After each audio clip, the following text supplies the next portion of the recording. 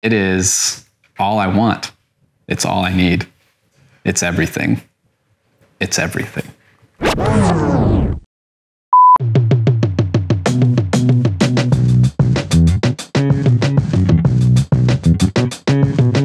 I'm to give an, uh, probably a weird answer and just say um, I spiritually prepare to worship lead by being alive.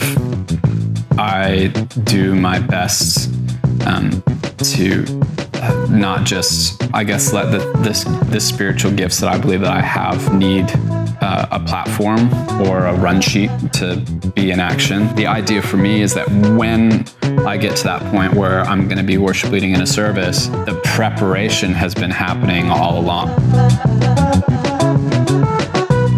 It's really important to build relationship with your your music directors and the other people on your team that isn't exclusive to a platform or a rehearsal. When you have like a relationship that's exclusive to the platform, um, then that means that's the only place that you can gain or lose relational equity with someone. And so that means that every single mistake you make as an MD like ruins your relationship with the worship leader, which is just not true. But the thing is, that you actually, if you're actually in relationship with that person, every service is not a make or break for your future relationship.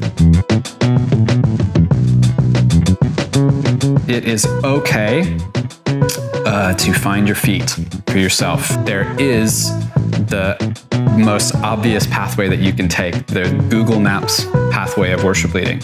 But then there also is the back roads kind of way that you can take as well. But I think that before you can take the back roads, you need to be able to take that really clear pathway really, really well. If you can learn to do that and you can build trust and rapport with your congregation, um, they'll follow you through those those those back roads.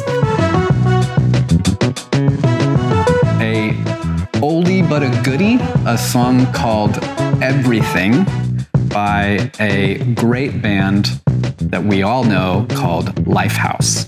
And it is all I want. It's all I need. It's everything. It's everything. I was like, this song is dope. And I want to write songs like this. The first song that I ever learned on any instrument was Stairway to Heaven by Led Zeppelin. The reason being is that my cousin learned a song called Dust in the Wind by Kansas. And I was really jealous. And I thought, I'm to learn this song because it seems cooler and I'm to outdo him. I um, try to get a sense of what kind of service it is. Is it a Sunday morning? Is it a Sunday night? What kind of new songs do we have in the life of church? Um, who the team is that's rostered? Um, and also, do I lead worship at that location often? Like, do I have trust and rapport with that congregation, and then kind of bringing all those things together to um, see uh, where kind of the light and shade in a song list can be. Also, uh, I think how you start a song list and how you finish a song list are paramount. Being able to envision all those moments um, and then kind of build out from there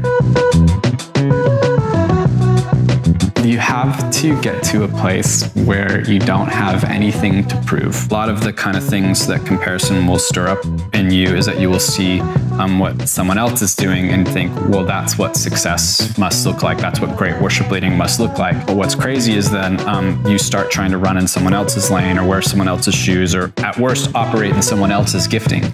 Um, and it doesn't work because you're trying to fit yourself into a form that's not your own. And so I think um, when you can lead from a place of security, it frees you up to be yourself and to bring what only you can bring